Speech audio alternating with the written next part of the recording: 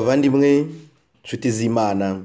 Kuri iki cyumweru cya gatatu cya pasika umwaka b amasomo twateguriwe ni ayakurikira isomo rya mbere ni iryo mu gitabo cy'ibyakozwe n'intumwa umutwe wa gatatu umurongo wa cumi na gatatu kugera kwa cumi na gatanu uwa cumi na karindwi kugera kwa cumi n'icyenda. Zaburi ni iya kane umurongo wa kabiri uwa karindwi n'uwa cyenda isomo rya kabiri ni ryo mu ibaruwa ya mbere ya yohani.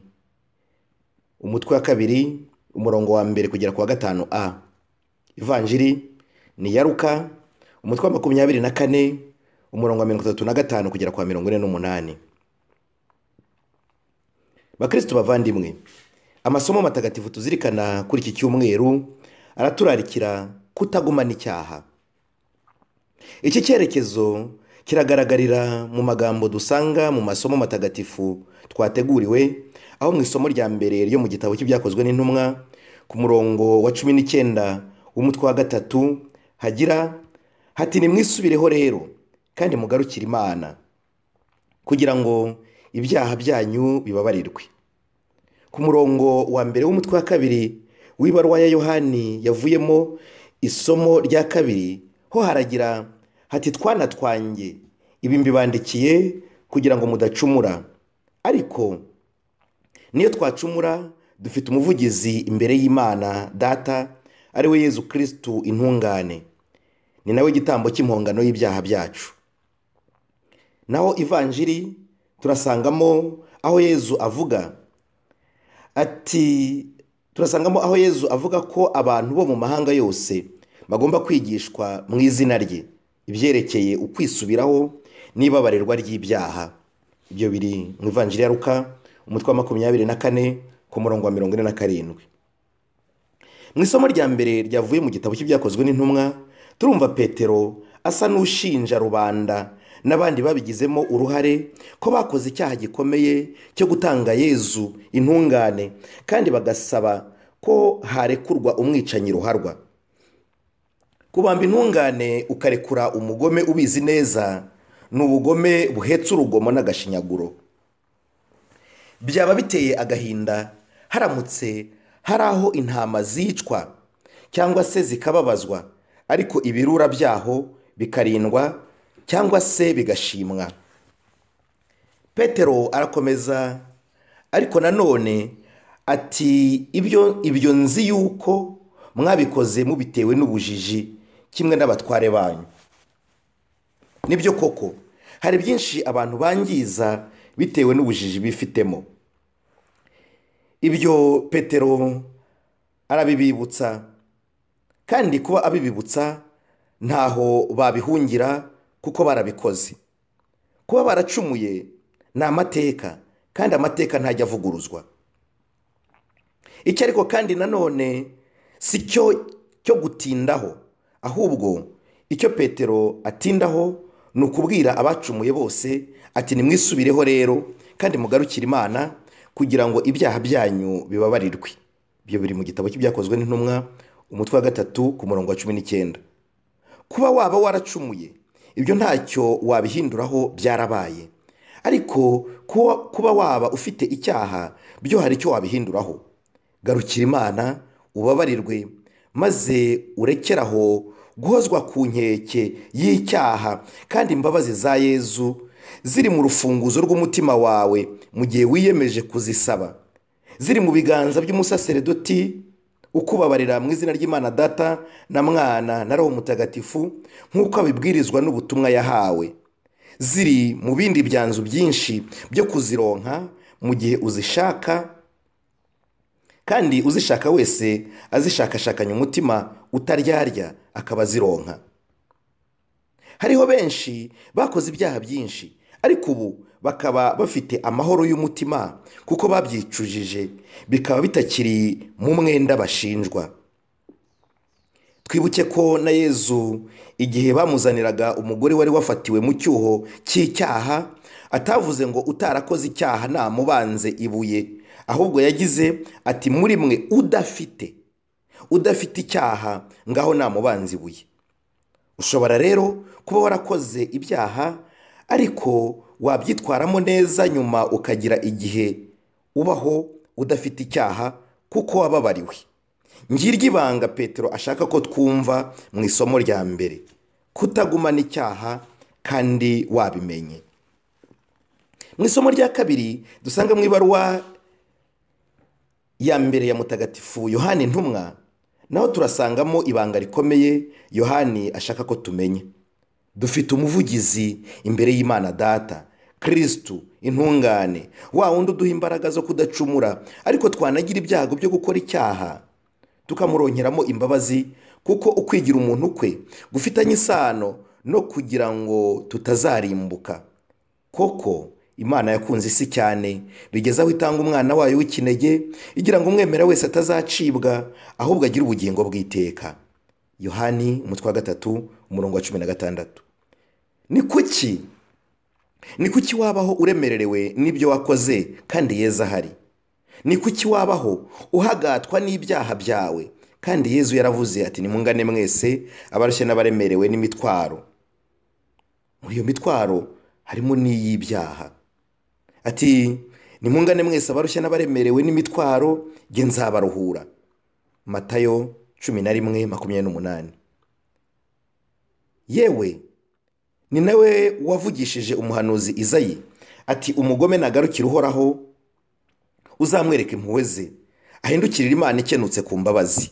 Izayi mirongo itanu na gatanu karindwi. Imana si umukene kandi by'umwihariko si umukene ku mbabazi. Ubundi bukire ushakisha abandi bashobora kubutambamira. Ariko ushakishije ubukire ku mbabazi ntawabyivangamo ngo bimukundire. Mu ivanjiri ya ruka turazirikana kuri iki cyumweru naho turasangamo impuruza yo kwisubiraho kugira ngo tubabarirwe ibyaha. Ubwo yabibwiraga intumwa ze yanongeyeho ati ibyo ni mwe bagabo bo kubihamya. Barasabwa kuzahamya ko icyazanye yezu atari amaronko cyangwa ubutegetsi ko ahubwo yifuza ko abantu bakwisubiraho kugira ngo abaronke imbabazi. Nibyo rwose yezu ntiyifuza urupfu rw'umunyabyaha ahubwo yifuza ko yahinduka akarokorwa urupfu rw'iteka. Yezu ntiyazanywe no kwimikwa nk'abami b'iyi si kuko n'igihe yamenyaga ko bagiye kuza kumujyana ku mbaraga bakamwimika yarongeye ahungira ku musozi ari wenyine. Ibyo tubisanga kwa yohani umutwe wa gatandatu umurongo wa cumi na gatanu. Intumwa zigomba kuzahamya uburyohe bwo kubabarirwa kuko zabibonye kandi na zo ubwazo hari izabitangaho ubuhamya. Niba amasomo matagatifu aturarikira kutagumana icyaha kuki wabana na cyo kandi aho kugita hahari. Icyaha aho kiva kikagera gifitemo ubumara. Iyo kitamunze nyiracyo kimunga abamuri hafi. Bikarangira kimucuranguye. Bikarangira abaye undi wundi. Bikarangira abaye ikibazo aho yajyaga aba igisubizo. Bikarangira abaye uwo kwigwaho kandi ibibazo bindi bitabuze. Bikarangira abaye icyifuzo cyo gusengerwa. Kandi lisite y'ibindi bisabirwa yari igihari. Mu masomo yo ku cyumweru cyashize hari aho yezu yavuze ubugira gatatu ati nimugire amahoro. Twasabwaga kuyakira no kuyatanga kandi tugacika ukubiri no kuyifuza kandi twe tuyabuza abandi. Akaya mvugo usanga igezweho muri iki gihe muri bamwe na bamwe ngo ni byo bimpaye amahoro. Rimwe na rimwe kandi ibyo wita ko biguhaye amahoro bishobora kuba binayabuza abandi. Kuri iki cyumweru rero turanatahura ko rimwe mu mabanga yo kubona ayo mahoro yeza avuga harimo no kutaguma mu cyaha cyangwa kutakigumana kandi aho kugita hahari tujye twibuka no gusabira abantu bananiwe kuva mu byaha bitandukanye kandi bifuzaga kubivamo ariko bakaba babuzwa kubivamo n'abandi cyane cyane abo babana mu kazi mu rugo mu bucuti cyangwa indi mishyikirano izwi n'itazwi na benshi. Nkwibarize nk'iyo ubana n'icyaha kandi ubizi uba wumva uzakibyazamo uwuhe musaruro? Uhoraho wavugishije izayi ati nahanaguye ubugome bwawe nk'igicu. Ibyaha byawe mbimaraho nk'igihu. Ngarukira kuko nakwicunguriye. Nk'uko tubisanga kwa izayi umutwe wa mirongo ine na kane umurongo wa makumyabiri na kabiri. Uhoraho iyo mana ntaho yagiye niyo ikiduhagazeho na n'ubu. Ntushobora kubasha kubuza ibyo udashaka gutambatamba aho uri ariko kubyima icumbi mu mutima wawe byo wabishobora. Tumurikiwe n'aya masomo matagatifu. Dusabe yezu ngo aduhe imbaraga zo gutsinda ibishuko bitujyana mu cyaha. Ariko kandi nitunagira ibyago byo kukigwamo aduhe imbaraga zo kucyipakurura kitaratugira imbata. Ngaho rero buri wese narebe mu buzima bwe niba nta ngeso irimo kumukurura muri iyi minsi. Niba nta muntu urimo kumukwega amujyana mu bidakwiye. Niba nta cyaha arimo kumenyera gukora arimo kumenyerana na cyo akumva ari ibisanzwe. Niba nta kwirekurira ibyo yatinyaga mu minsi ishize biri kumubaho. Niba nta bitekerezo byo kuyoba cyangwa se kuyobya cyangwa se guca intege abandi kumenyerana n'ibyaha kumenyera ibibuza amahoro uwo bashakanye umubyeyi cyangwa se abandi muhura kenshi. Ndakwinginze rwose mu izina rya yezu ibyabaye byarabaye ariko wibitindamo. Ibyo wicuza birahari ariko wibigira akamenyero. Yewe nunibuka ko hari ibyo waguyemo ukumva inkeke izamutse mu mutima bwira yezu bwira yezu utisingizwa yezu wowe wambabariye cyangwa se wankijije ibi cyangwa biriya. We wanyogeje ukankesha ukamvanaho kiriya cyangwa biriya byaha nari niyandurishije.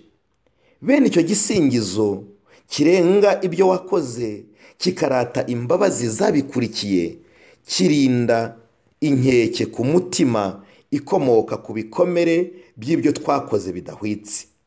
Birumvikana ntiwasingiriza yezu kuba yarakubabariye kandi uheruka inzira atangiramo izo mbabazi kera ugihabwa amasakaramentu y'ibanze cyangwa mu bihe bisa n'ibyo. Niba imbabazi zitangwa ku buntu ntitukazibure kandi ntitukazimane kuko dufite ubuhamya bw'ibyo zasannye cyangwa zaremye bundi bushya mu buzima bwacu bwite cyangwa se ubw'abandi tuzi ndetse n'abo tutaramenya. Nyagasani yezu nabane namwe abarinde kandi abaho umugisha ku izina ry'imana data na mwana na roho mutagatifu. Mwari kumwe na padiri jean damascene habimana ukorera ubutumwa muri paruwase gihara diyoseze ya kabgayi.